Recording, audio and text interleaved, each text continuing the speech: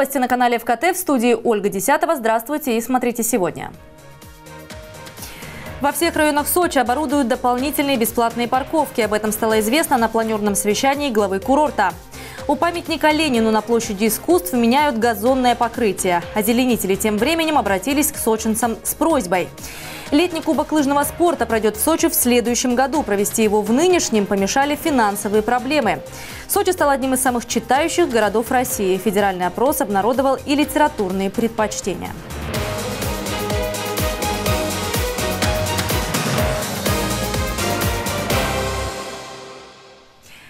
Выпавшая из поезда в Сочи пассажирка обратилась в больницу. У женщины диагностировали ушиб мягких тканей головы. По словам пациентки, травму она получила при выходе из пассажирского поезда «Саратов-Адлер». Напомню, инцидент произошел 1 сентября, но видео с камеры наблюдения в соцсетях появилось сегодня утром. Камеры засняли, как проводник на ходу сначала высаживает из поезда пассажира, а затем выбрасывает из вагона его вещи. Все случилось на станции Хоста. Со слов проводника поезда, женщина, не дождавшись окончательной остановки из состава у платформы поспешила выйти, вследствие чего оступилась и упала на перрон. Ну а жительница Татарстана с заявлением в транспортную полицию не обращалась.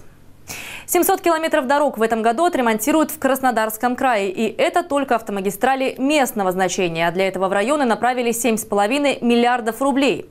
Как осваивают эти деньги на местах, глава региона проверил на общекраевой планерке. Развитие транспортной инфраструктуры стало одной из важных тем совещания. Но еще один вопрос, который поднял Вениамин Кондратьев – это состояние парков. Все они должны иметь правовой статус. Обо всем по порядку расскажут наши краснодарские коллеги. На реконструкцию и строительство дорог Кубани в этом году выделена небывалая сумма. На создание современной и комфортной инфраструктуры направлены миллиарды рублей.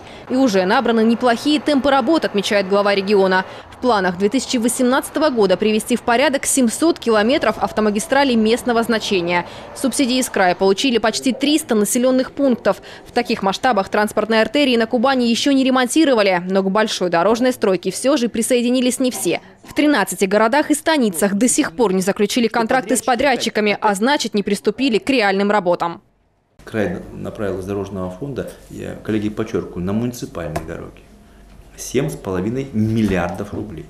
Эти деньги, э, коллеги, они должны быть трансформированы в качественные или отремонтированные дороги, или вновь построенные.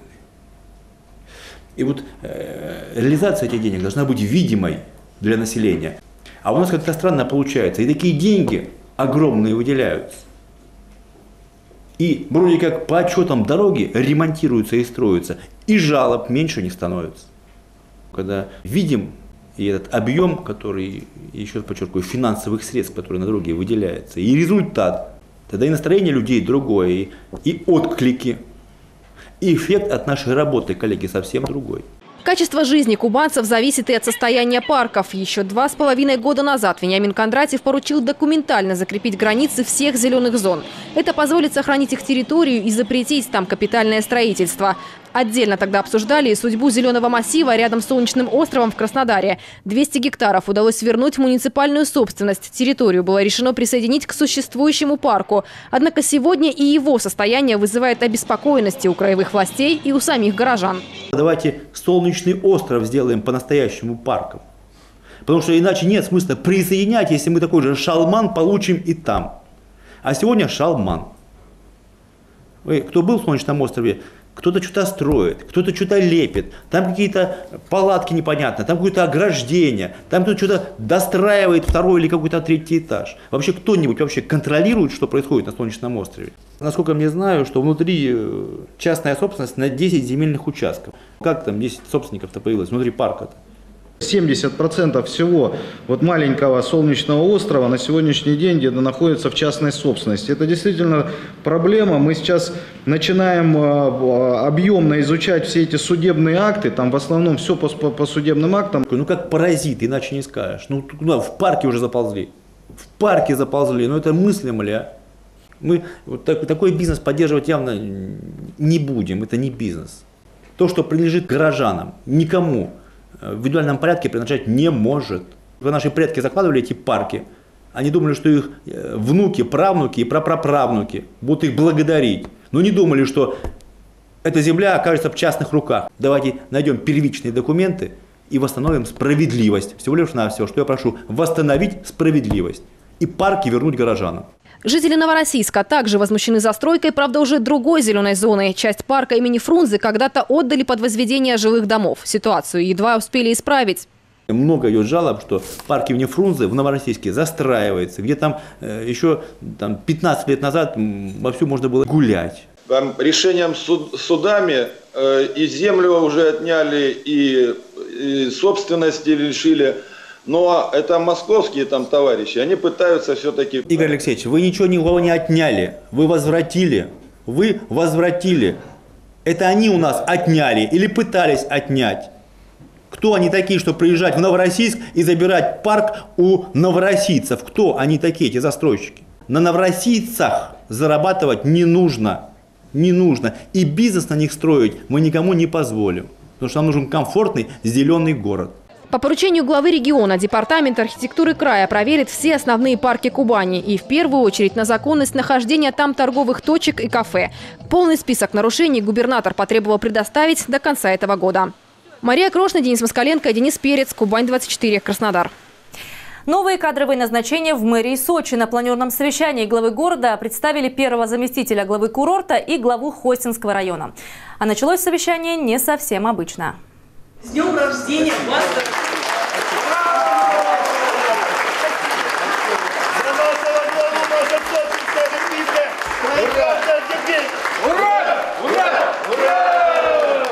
Коллеги поздравили главу города Анатолия Пахомова с прошедшим днем рождения и отметили, что именно под руководством Пахомова Сочи стал конкурировать с Турцией по числу российских туристов. Борьбу за своего отдыхающего администрация Сочи намерена продолжить и дальше. Все более настойчиво говорят о концепции развития Лазаревского района. Только в этом году из муниципального бюджета туда направлено 770 миллионов рублей. Еще более полумиллиарда из краевого. В частности, на строительство школ и детских садов. Однако собираемость налогов в Лазаревском небольшая. В городской бюджет вернулось в прошлом году 269 миллионов, а за 7 месяцев этого года только 134. Получается, что район дотационный. Глава города настаивает на мощном развитии самых северных территорий Сочи. А для этого необходимо привлекать инвестиции и даже выделять земли для среднего и малого бизнеса. Яхт-клуб – это достаточно интересное предложение. То, что он там должен появиться, это тоже факт, потому что у нас в Адлере есть, в Хосте есть, в Центральном районе есть. В Лазаревке, а Лазаревка 90 километров, нет. Вот и даже неудобство там дозаправиться, зайти. В принципе, вот все, есть у нас в конце концов э, федерация яхтенного спорта, они тоже имеют людей, которые готовы вложиться. Надо только начать работать. Рядом новых проектов займется Сергей Юрин. Он сегодня назначен первым заместителем главы курорта. А Павел Клопотовский утвержден на должность главы Хосинского района. На сегодняшней планерке также сообщили о завершении обследования земельных участков под бесплатные парковки во всех районах. Бадлере обустроит 5 парковок вместимостью 1300 мест, в Хосте 6 на 285 мест, в центре 5 парковок на 523 машины, в Лазаревском районе 2 адреса парковок на 300 машин и мест. Это позволит разгрузить улицы Сочи. Их сделали, много сделали. В центральном районе, вот улица Соколова, видно, она пустая. Э, в районе э, парка Ривьера пустая. И мы сейчас еще добавляем только бесплатные, во-первых, бизнесу, но, но все равно идем на это. Но и эти бесплатные парковки будут пустыми, если не будет мотивации к тому, чтобы выполнять правила дорожного движения, то есть законы Российской Федерации. И сегодня же стало известно о заключении договора с Сочинским национальным парком, согласно которому авиационная техника МЧС будет использоваться для тушения лесных пожаров. В сельской местности создано 39 добровольных пожарных дружин и еще две в городе. Закуплено оборудование на более чем 2 миллиона рублей. Сейчас пожарные добровольцы учатся правильно действовать в чрезвычайной ситуации. Елена Овсецина, Николай Тихонов, телекомпания ФКТ. Ну а продолжим после прогноза погоды и короткой рекламы.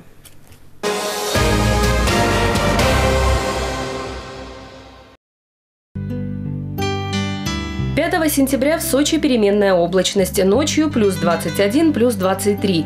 Днем 28, 30 градусов выше нуля. Морская вода плюс 26. Новый декоративный вид у памятника Ленину на площади искусств меняют газонное покрытие. Вокруг памятника вождю поставили ограждение. У подножия скульптуры начались работы по озеленению. Новый газон привезли в рулонах. Траву расстилают на клумбе, словно ковер. Предыдущее декоративное покрытие быстро потеряло вид. И виной этому не только палящее солнце, но и люди, которые часто здесь фотографируются, отдыхают на траве или играют с детьми. Траву быстро вытаптывают и приходится снова и снова сеять новую, говорят озеленители. Хотелось бы обратиться к жителям города и гостям города курорта курорта, относиться более бережно к тому декоративному озеленению, которое вы видите вокруг себя. Если вы не будете вытаптывать, портить, э, вырывать цветочки, увозить домой, фотографироваться на клумбах, то будут любоваться этими клумбами все, кто приезжают к нам и все, кто живут здесь. Подобная ситуация во многих памятных местах Сочи. Например, на мемориале в Завокзальном районе. На месте захоронения солдат Великой Отечественной люди не только гуляют сами, но и выгуливают собак. Этот вопрос в том числе был поднят на прошлой неделе на планерном совещании при главе города. Тогда мэр Анатолий Пахомов обратился ко всем сочинцам и туристам с просьбой бережнее относиться к памятникам и мемориалам, как к общей истории нашей страны. Сочи опередил Турцию по числу российских туристов. В этом году на курорте отдохнули около 8 миллионов граждан нашей страны, тогда как в Турции побывали почти 6 миллионов россиян. По сравнению с уровнем 2013 года сочинский показатель вырос в четверо. Также в Альянсе туристических агентств отметили, что за последний год количество пакетных туров на российских курортах увеличилось вдвое. И к другим новостям. Первый станок после длительного простоя цехов на обновленном заводе имени Седина соберут до конца сентября. Планируется, что он отправится в Красноярский край. Сегодня станкостроительное предприятие в Краснодаре посетил глава региона. Вениамин Кондратьев оценил восстановленное производство и пообщался с сотрудниками. Большинство работников трудятся на заводе уже не один десяток лет и не ушли даже в самый тяжелый для предприятия период. В 2015-м оно оказалось в состоянии банкротства. Производство остановилось, коллектив не получал зарплату.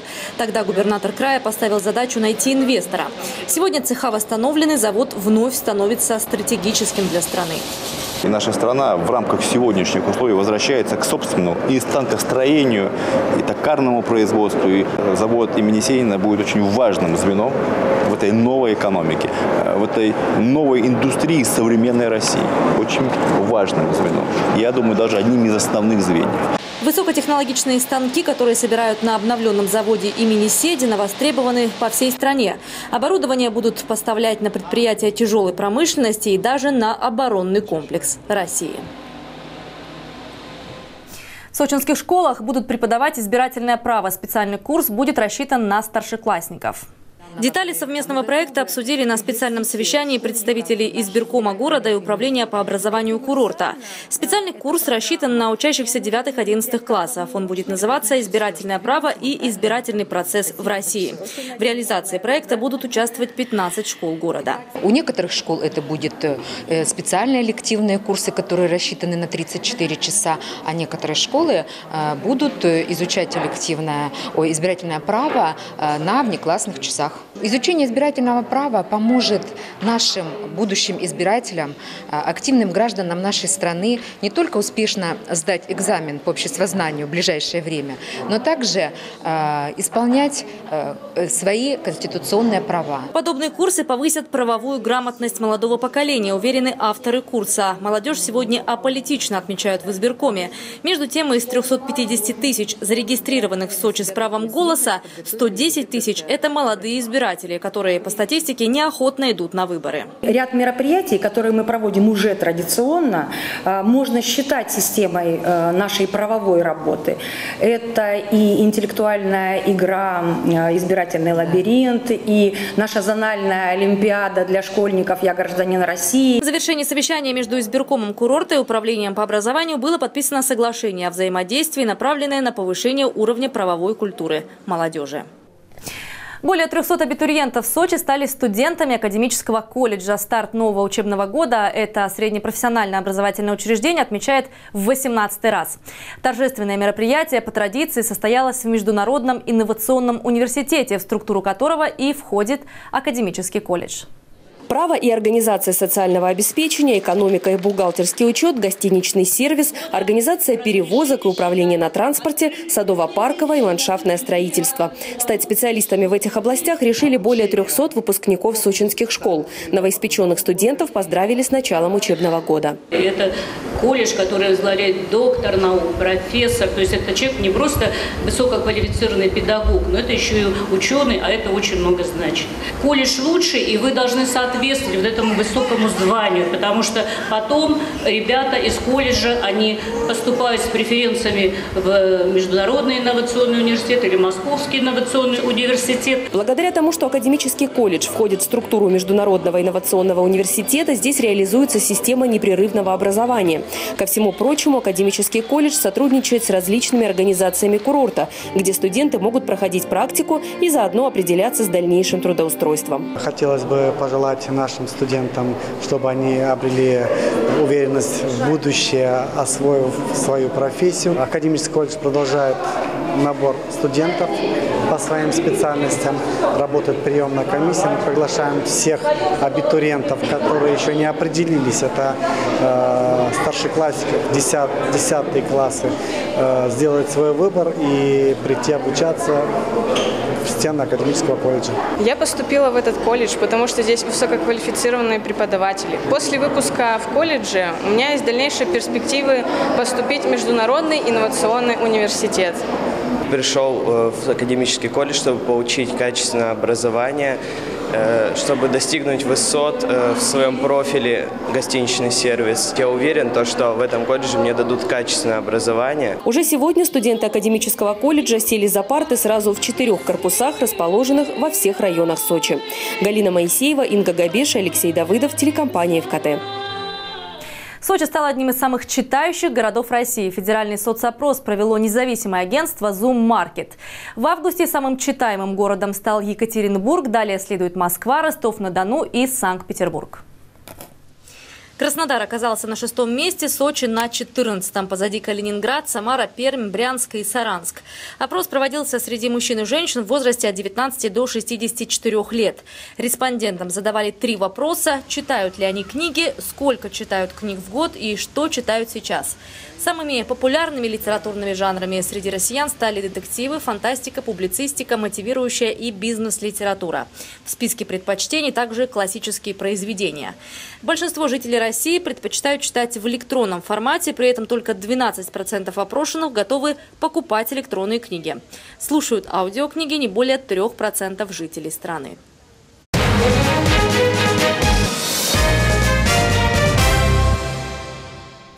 Летний кубок лыжного спорта пройдет в Сочи в следующем году. Об этом сообщил президент Федерации прыжков с трамплина и лыжного двоеборья России Дмитрий Дубровский. Турнир должен был пройти в Сочи в этом сезоне, однако из-за отсутствия финансирования от его организации было решено отказаться. Сейчас готовится заявка на проведение международного соревнования следующим летом. Кубок Международной Федерации лыжного спорта пройдет в июле или августе. Соответствующая поддержка от Министерства спорта России уже получена. А уже в октябре на трамплине пройдет летний чемпионат России по прыжкам на лыжах. Планируется, что он будет транслироваться на федеральном канале.